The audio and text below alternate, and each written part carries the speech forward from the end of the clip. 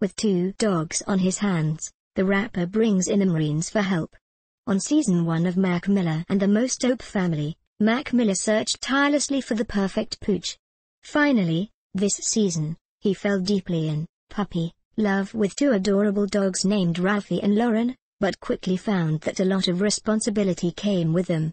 In this sneak peek of tonight's episode, Mac hires a U.S. Marine dog trainer to help him housebreak his pups.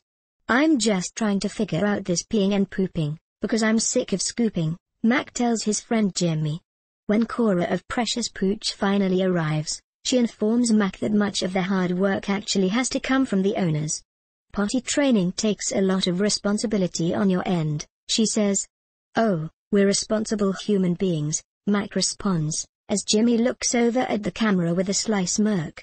Do you think Mac has what it takes to properly train his dogs? Let us know in the comments. Plus, check out Mac Miller and the Most Dope Family tonight at 11, 30 tenths colon 30 C on MTV2.